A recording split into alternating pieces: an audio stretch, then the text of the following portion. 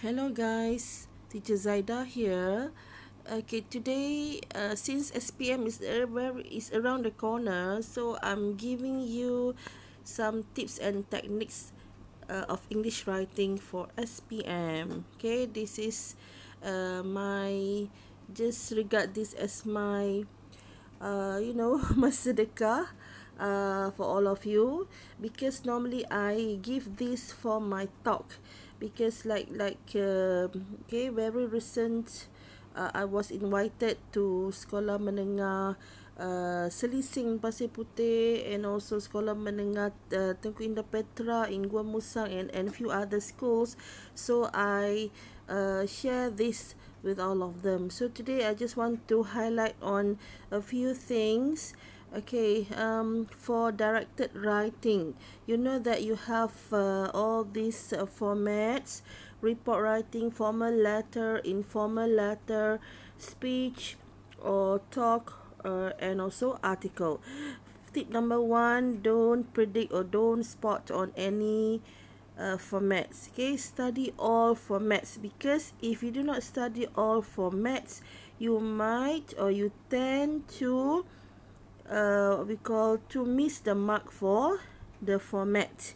Okay three marks for the for the for given for the format. So make sure you know all the formats for uh, directed writing. Okay don't skip don't don't uh, don't predict or don't spot.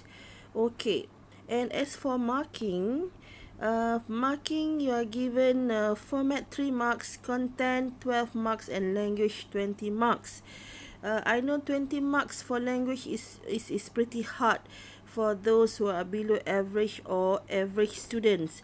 In fact, a good student also is very hard to get 20 marks. So what you have to do here is make sure you score full marks for format and also for content. It's not hard. Okay, make sure you target to get full marks here.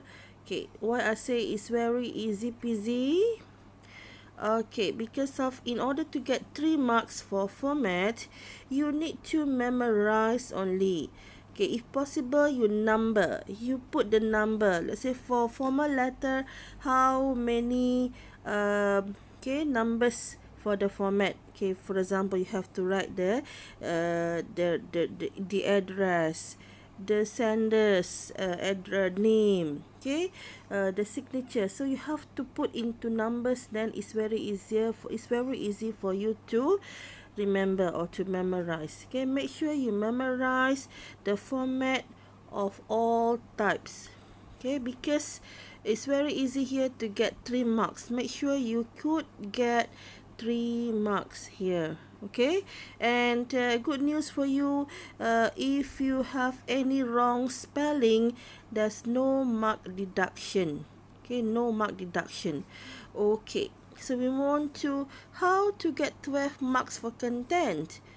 It's also very easy. Why? Because normally the content points are already given in the question. So make sure you use all the points if you use all the points then straight away you could get 12 marks uh, where you just need to elaborate a bit on each point given. Okay? And um, if you are asked to include your own points so make sure you include your own points okay so for me it's not hard to get 12 marks. So um, see so 12 plus 3 so you have got 15 marks in hands. Just uh, you know uh, you have to try hard for your language. Make sure you could get uh, uh, around 10 to 12 for language. Okay and another thing I want to share with you here is um, okay so this one is for example this is for informal letter okay? This is for informal letter. See this is the format. Uh, in order to get three marks so this is these are the the things that you have to have in your letter. The sender's address and name on top right. Um, number two you must have date. Number three you must have the salutation or the greeting. So dear hi hello. Okay make it very informal. And um, you must have the the closing greeting like your sincerely your brother okay as i said if let's say you spell wrongly you do not put yours but you put your it's okay. No mark deduction.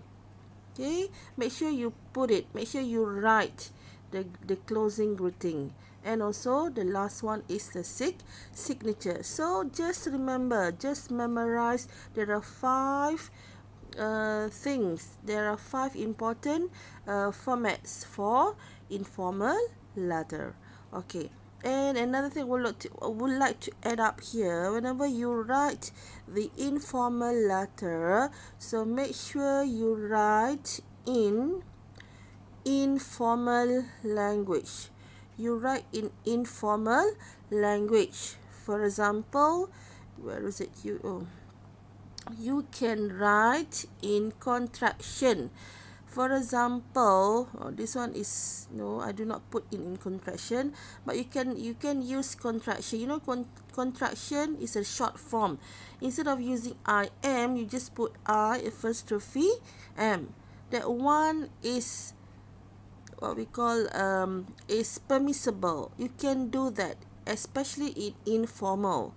But for formal letter you you have to write in full like this okay but don't use texting uh, language like the one that you write in your message or in your whatsapp in your wechat that one no that one is not allowed.